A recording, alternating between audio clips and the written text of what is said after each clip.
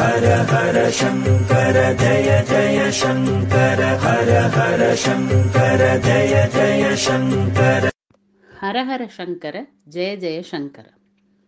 காஞ்சி மகா பெரியவருக்கு காப்பி குடிப்பது என்பது அறவே பிடிக்காது. தன்னை வணங்க வரும் பக்தர்களுக்கும் இதை அறிவுரையாக சொல்வார். ஒருமுறை சென்னையிலிருந்து ஒரு தம்பதி காஞ்சிபுரம் வந்து பெரியவரை தரிசிக்க காத்திருந்தனர். தங்கள் முறை வந்ததும் பெரியவரின் திருவடிகளில் விழுந்து வணங்கினர். அப்போது பெரியவர் அந்த பெண்ணிடம் உன் ஆத்துக்காரர் நிறைய காப்பி குடிப்பாரோ? என்று கேட்டார். அந்த பெண்ணும் மிகவும் வருத்தமான குரலில் ஆமாம் பெரியவா காலையில் ஆபீஸுக்கு கிளம்பும் முன் மூன்று முறையும் போய் வந்த பிறகு மூன்று முறையும் குடிப்பார். இன்னும் ஆபீஸில் வைத்து எத்தனை தடவை குடிக்கிறாரோ தெரியாதே என்றார். உடனே பெரியவர் அந்த நபரிடம் இனிமேல் காப்பி குடிக்காதே வேண்டுமானால் மோர் நிறைய குடி. என்றார். ஊருக்கு சென்ற பிறகும் இரண்டு நாள் மட்டும் பெரியவர் சொன்னபடி அவர் நடந்து கொண்டார். காப்பி ஆசை யாரை விட்டது? மூன்றாம் நாளிலிருந்து மனைவியிடம் காப்பி கேட்டு நச்சரிக்க ஆரம்பித்து விட்டார். மனைவி மறுத்த போதும் அவரின் நச்சரிப்பு தாங்காமல் அவரும் காப்பி கொடுக்க ஆரம்பித்து விட்டார்.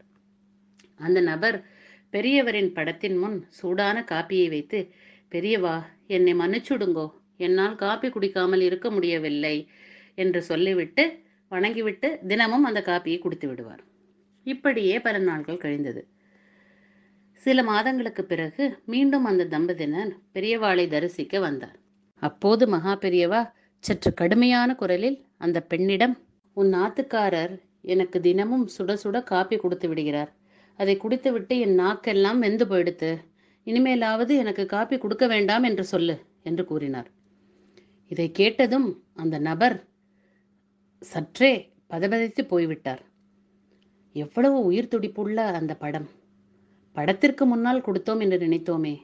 சாக்ஷாத் மகா பெரியவாதானே நம்மோடு இருந்திருக்கிறார் என்று நினைத்து தன் தவறை நினைத்து வருந்தி மகா பெரியவரை நமஸ்கரித்து இனிமேல் எப்பொழுதும் இந்த தவறை செய்யவே மாட்டேன் மகா பெரியவா என்று கூறினார்.